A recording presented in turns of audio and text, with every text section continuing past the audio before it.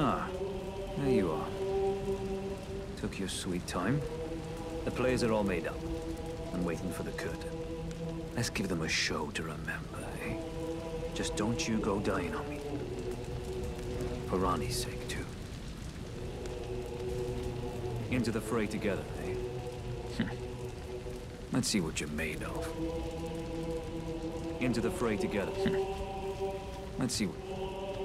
Champions! Welcome!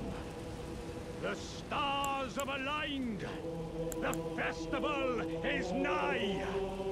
General Radahn, mightiest demigod of the Shattering, awaits you! Champions, prepare for battle! Ah, you came. How delightful. Indeed, I thought I might find you here. By the by, do you know for whom this festival is being held?